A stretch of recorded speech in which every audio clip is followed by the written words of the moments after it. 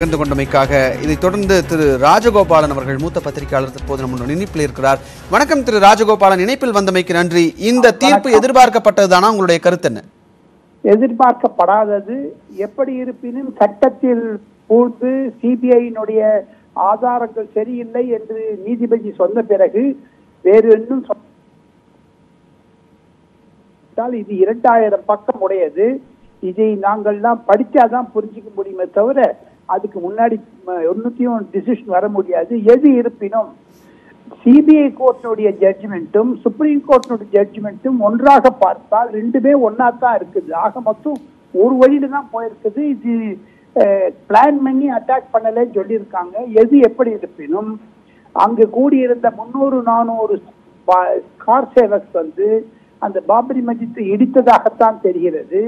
முழு ஜட்ஜ்மெண்ட் படித்த பிறகுதான் தெரியும்.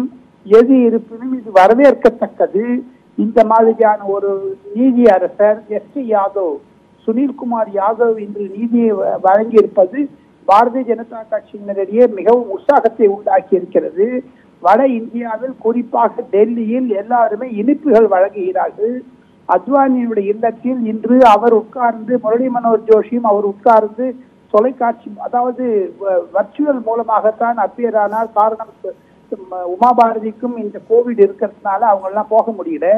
எது இருப்பினும் இது வரவேற்கத்தக்க ஒரு நீதி பதி சொன்னது என்பதுதான் பாரதிய ஜனதா கட்சியினர் மீண்டும் மீண்டும் கோருகின்றனர் இல்ல இந்த இரண்டாயிரம் பக்க தீர்ப்பு அப்படிங்கிறது அதனுடைய மொத்த சாராம்சம். இந்த முப்பத்தி இரண்டு பேரும் விடுவிக்கப்படுகிறார்கள். அவர்கள் மீதான குற்றச்சாட்டு நிரூபிக்கப்படவில்லை. சரியான ஆதாரம் இல்லை அப்படிங்கிறது தான் முன்வைக்கப்படக்கூடிய விஷயமா இருக்கு.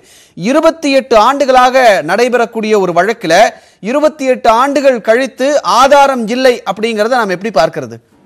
அது காரணம் என்னன்னா சிபிஐ சரியாக வழக்கு ஆதாரமில்லை. வழக்கு எது?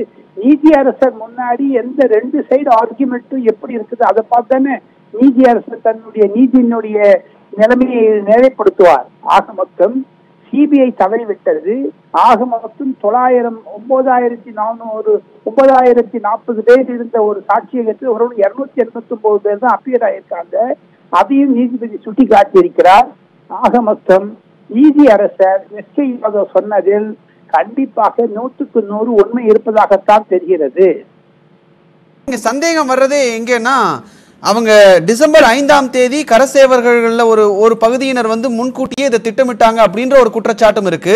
அதைத் தொடர்ந்து அவங்க பாபர் மசூதி இடிப்பிற்கு முன்பாக அந்த மேடை அமைத்து அங்க வந்து அவங்க பேசினாங்க. உணர்ச்சியை தூண்டும் வகையில பேசினாங்கன்ற ஒரு குற்றச்சாட்டும் இருக்கு. அங்க இருக்கக்கூடிய காவலர்களே இதற்கு வந்து ஐ விட்னஸா மாறியிருக்காங்க அப்படின்ற ஒரு விஷயமும் நம்ம பார்க்க முடிகிறது. இவ்வளவு விஷயம் இருக்கு. சிபிஐ அவங்களுடைய தரப்பையும் விசாரித்து வைத்திருக்கிறார்கள் அப்படிங்கிற பட்சத்துல எந்த இடத்தில் நீதிமன்றம் இந்த முடிவை எடுத்திருக்கும் ஆதாரம் பத்தவில்லை அப்படிங்கிற முடிவை நீதிமன்றம் எந்த இடத்துல எடுத்திருக்கும்னு நீங்க நினைக்கிறீங்க? என்னை பொறுத்து மட்டும் சாட்சியங்கள்லாம் சரியா சொல்லவில்லை. எந்த சாட்சியும் தன்னுடைய ஒரு விஷயத்தை குறிப்பாக சொல்லவில்லை என்பதைத்தான் நான் மீண்டும் மீண்டும் வலியுறுத்த விரும்புகிறேன். ஒன்பதாயிரத்தி நாற்பது சாட்சியத்தில் வெறும் இருநூத்தி எண்பத்தி ஒன்பது பேர் தான் அப்பீல் ஆயிருக்காங்க. அதையும் தவிர இந்த பிரச்சனையை உருவாக்கியது காங்கிரஸ் என்று தான் பல பாரதிய ஜனதா கட்சியினர் கூறி வருகின்றனர். ராஜீவ் காந்தி தான் இந்த கோ- கோவிலை திறந்து விட்டார். அதையும் தவிர வீரபத்ர சிங் முதலமைச்சராக இருக்கும் போதுதான் அதற்கு பாதை அமைத்து கொடுத்தார். பொறுப்பு மட்டும் கண்டிப்பாக சிபிஐ தவறிவிட்டது என்று தான் சொல்ல முடியும். அது யூபி அரசாங்கத்திற்கு தவறுதான் என்று சொல்ல முடியும். காங்கிரஸ் வழக்கறிஞர்களும் சரியாக அந்த இடத்தில் வாழாதவில்லை என்பதைத்தான் நான் நிரூபிக்க முடியும். எனினும் இரண்டாயிரம் பக்கத்தை படித்தாதான் முடியும். முப்பத்தி ரெண்டு பேர்களை விடுதலை அடைந்தது. பாரதிய ஜனதா கட்சியினரிடையே பெரிய உற்சாகத்தை ஊட்டியிருக்கிறது.